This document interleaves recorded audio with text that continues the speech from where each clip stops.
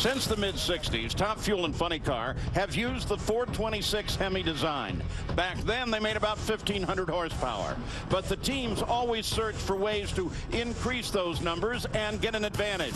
And that is the subject of our Traxxas Extreme Power session. Well, new technology allows them to make 10,000 horsepower with that same basic design. It also allows us to have a camera to slow down enough to see the firing order. And we caught a couple things back in Charlotte.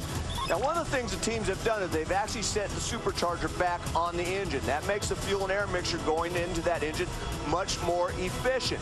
Now, when they did that, they also did something else. The standard firing order for a 426 Hemi is 18436572. Now, they switched 7 and 4 in the firing order.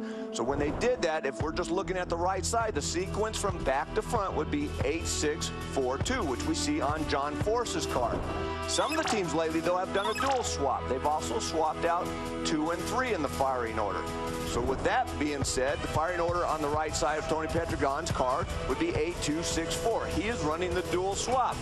Never ceases to amaze me, even with the restrictions that we have today, that these guys will find ways to make more horsepower and run well over 330 miles per hour in just a 1,000 feet.